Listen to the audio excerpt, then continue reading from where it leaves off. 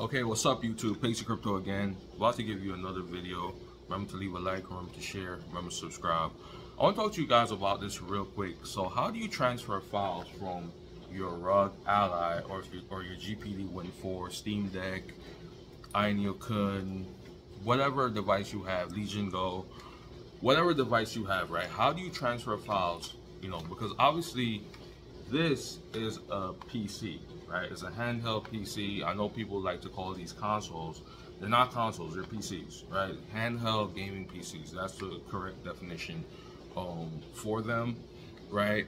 And essentially, uh, when you need to transfer files to your main PC, wait, if you have games, let's say you have a gaming PC, and you want to transfer, you know, files from that PC to this, how do you do it, right? If you want to transfer games, right? If you want to try instead of downloading the game on Steam Deck, if you just want to transfer it, which is a lot faster, right? How do you um, essentially do this, right? Um, and essentially, um, I'm gonna teach you guys how to do it.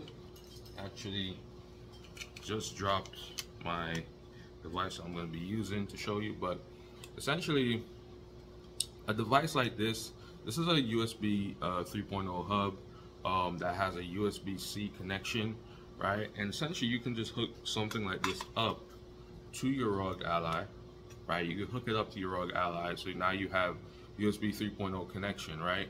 Um, and this is for USB-A, um, USB 3.0 A port. Um, now you got your USB-A cable, right? Now this is, um, now let me explain what this is. So this is a PC Link 5 cable. As you can see, it's a lot different from a regular USB cable. Um, it does have uh, one US, uh, it has two USB A connections, as you can see, two USB A connections right here, and on both sides, and in the middle it has, you know, sort of like a, a little uh, bridge device and essentially what it will do it will allow you to bridge from your ROG Ally to your PC so then you just hook it up you know you just hook up your USB-A cable to your ROG Ally like this.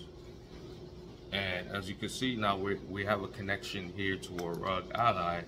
Now you have to hook this end up to your PC right? You hook this up to your PC and it will automatically load up the PC Link 5 software. Actually, you have to install it, but it will prompt you to install it essentially. And then once you install that software, then you can transfer files to your PC. I'm going to show you that right now.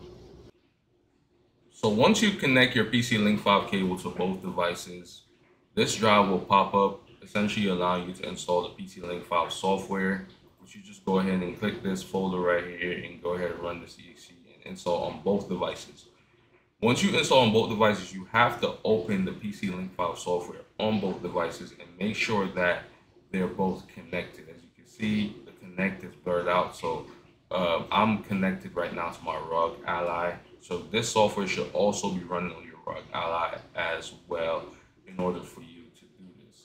Now, obviously, you see I have some games here. If I want to transfer a file, like let's say I want to transfer this file, this random file, I'll delete it after, but I want to transfer that on install exe file there, I can just do that right away, right? So essentially, I am now able to transfer between my PC and my ROG Ally pretty seamlessly and pretty quickly too. So let me delete that. You could also delete files as well from that.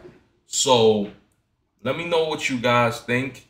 This is not needed for Steam. I know I said Steam Deck initially, but this is not needed for the Steam Deck because the Steam Deck can connect just like how you connect your mobile phone to your PC. It does have support for um, USB-C to USB-A connection um, for desktop PCs. So essentially you will have access to all your files in Steam Deck. However, the most gaming handhelds, like the GPD Win 4, ROG Ally, handhelds like that, don't have that seamless connection. So you have to use like a PC Link 5 cable to bridge the connection between your PC and your device. But let me know what you guys think and have a great day. Pacey Crypto signing.